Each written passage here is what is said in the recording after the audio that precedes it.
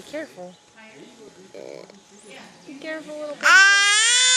Um, What was that, Zeno? Mama, mama, mama. Whoops. Are you Can okay? I see you? Come here. You okay? Um, we got that Little rat face. on film. Whoops. You okay? Mm, He's you can't do that to people. No. It's okay. He did was gentle. No, he wasn't. He was mad and he was squeezing hard.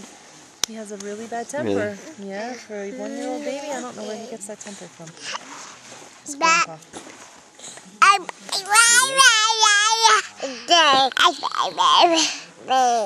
He does a horrible temper.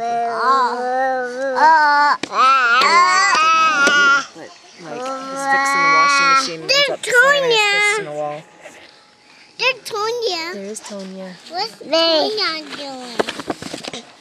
Okay, we don't want to. Let's let's get that out of the way because it's gonna get ripped. Okay. You want to go put that in your bag so it won't get ripped? No. Can you read it? You'll happily read it. Story time. You're reading Can you read it? Bambi. Can you read Bambi? I will read Bambi. Come here. Soon after Bambi was born, he stood up on his walk. Bibsy, bibsy, bibsy, bibsy, bibsy, bibsy, bibsy, bibsy, bibsy, bibsy. Oh. Oh. Why is that rock there? Ah, rocks like to be on the ground. That's why. What's the rock doing? Here we go. It's just sitting there, chilling out.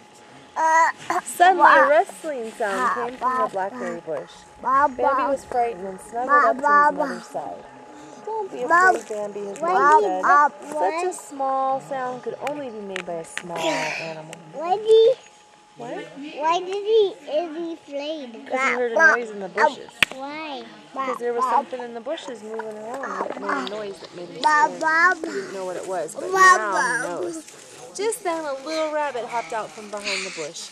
Hello, he said. My name is Thumper. What's your name? My name is Bambi. Do you want to come meet my friends? asked Thumper. Bambi turned to his mother. May I? he asked.